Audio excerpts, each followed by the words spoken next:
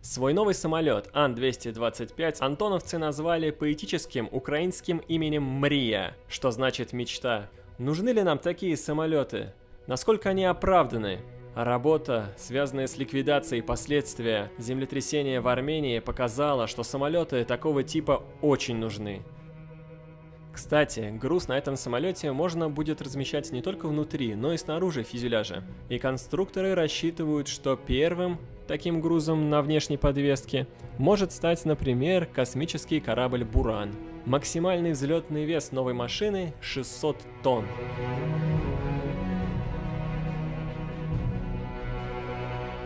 Сейчас она весит тонн 400, но смотрите, как легко оторвалась она от земли, пробежав по полосе около тысячи метров. Чуть больше часа длился этот первый испытательный полет Мрии, полет мечты. Тихо стало на аэродроме. Все, кто был здесь, затаили дыхание. Первое приземление. Мягкое касание, короткая пробежка и поздравления принимают генеральный авиаконструктор Петр Васильевич Балабуев, Среди главных героев дня, конечно, сегодня летчики-испытатели во главе с командиром экипажа Александром Васильевичем Галуненко. Этот первый полет для них – начало большой работы. Весной 89 -го года руководством страны принимается решение показать Мрию и Буран на авиакосмической выставке во французском Ля Бюрже. Ан-225 перегоняют на космодром Байконур для летных испытаний в связке с орбитальным кораблем. Перед тем, как отправиться на выставку, выполнят 6 тестовых полетов с бураном на внешней подвеске. В ходе испытаний полностью подтвердилась надежность стыковочных креплений и устойчивость связки самолета и орбитального корабля в полете.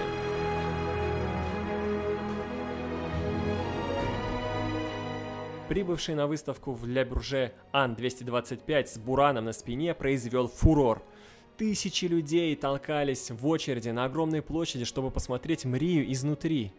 Ан-225 принял участие еще в нескольких авиашоу и считанные дни использовался для полетов. Мрия должна была стать частью многоцелевой авиакосмической системы. Ан-225 выступал бы в качестве первой ступени комплекса, на котором устанавливался орбитальный самолет или блок выведения с полезным грузом, оснащенный внешним топливным баком – при этом масса второй ступени могла достигать 275 тонн.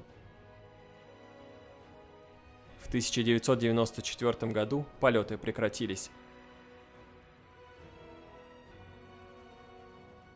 Уникальные характеристики, заложенные в Ан-225, позволили этому самолету вновь подняться в небо.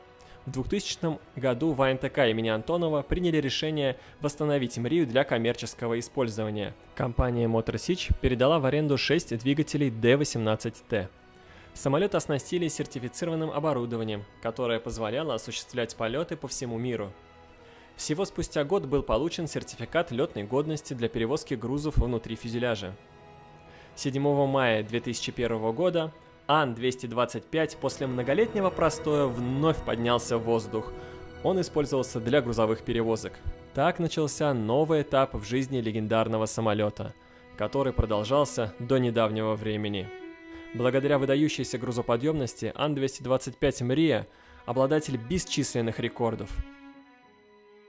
Ан-225 Мрия – мечта. Это уникальный самолет, который с вероятностью близкой к 100% так и останется в единственном экземпляре – Хотя задел для второго и имеется, но строить второй, чтобы перевозить грузы внутри, экономически нецелесообразно.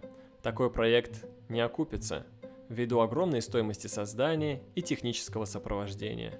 Время мечты и мечтателей осталось в прошлом.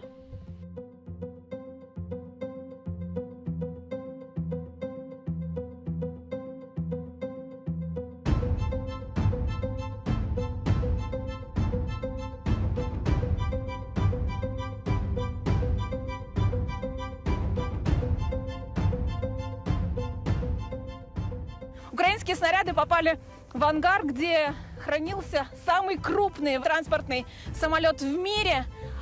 Ан-225 «Мрия», в переводе на русский «Мечта». Так вот, украинские артиллеристы попали в него, и самолет сгорел. «Мрии» больше нет.